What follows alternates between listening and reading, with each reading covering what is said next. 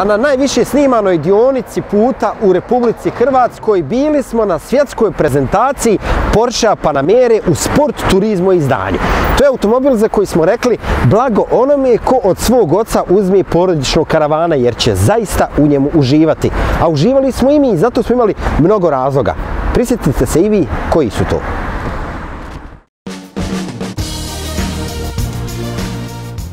Linija kroba koja kod sport turizma ne završava kupeopski, već se u karavanskom stilu nastavlja prema nazad, ostavljajući više prostora za ramena putnika na zadnjoj klupi i čak 50 litara više prtljažnog prostora. Ono što se razlikuje u unutrašnjosti kod sport turizma u odnosu na sedan verziju Porsche Panamere jeste u stvari zadnja klupa koja je predviđena za tri odrasla putnika. Naravno oni koji ne žele da imaju troje da, da putuju nazad opciono će biti u prilici da naruče i klupu koja je jednaka onoj u sedan verziji Porsche Panamere. S prednje strane nema nikakvih razlika u poređenju sa klasičnom Panamerom i dalje preovladava Porsche Advanced Cockpit sa digitalnim displejima i interaktivnim mjernim instrumentima. Na centralnoj konzoli glavnu riječ vodi 12,3-inčni ekran visoke rezolucije osjetljiv na dodir, dok se ispod njega, preko centralnog grebena, nastavlja veliki komandni panel sa mogućnošću upravljanja samo jednim dodirom svim elementima i sistemima vezanim za automobil.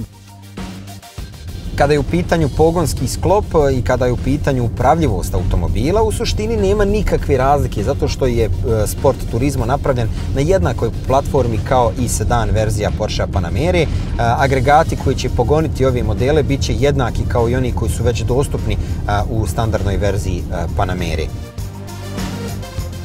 Prava muzika tek dolazi kada se stisne papučica gasa, jer je za pogon sportskog karavana zadužena gama od četiri agregata izlazne snage od 243 do 404 kW. Svi agregati su preuzeti iz druge generacije Panamere, dakle V oblika sa 6 ili 8 cilindara. Bez obzira koji model kupci odabrali, u pogonskoj kombinaciji će doći osmostepeni PDK automatski mjenjač i aktivni elektronski kontrolisan PTM sistem prenosa snage na sva četiri točka.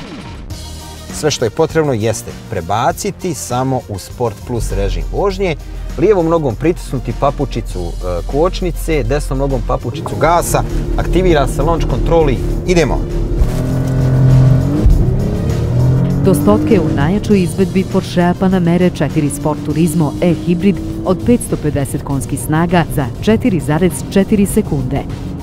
Za ovako brutalne performanse potrebna je i brutalna sigurnost, a za nju će se posebno pobrinuti Porscheob sistem aktivnog torque vektoringa te aktivna antirol stabilizacija u kombinaciji sa 4D kontrolom šasije.